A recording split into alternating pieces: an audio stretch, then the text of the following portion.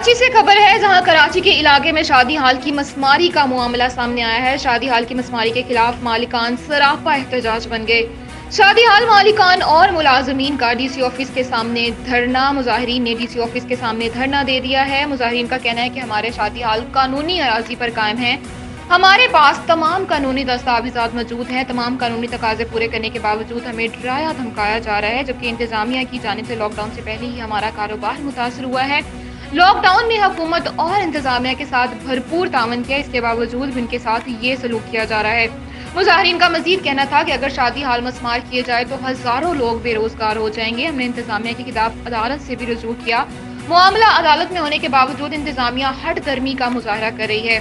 अगर हमारे मुतालबात मंजूर ना किए गए तो हम मुलाजमीन के साथ भूख हड़ताल पर जा सकते हैं, जबकि मजाहरी ने सड़क पर धरना दे दिए। सड़क पर धरने के बाद शदीद ट्रैफ़िक जाम गाड़ियों की लंबी कितारें लग गईं।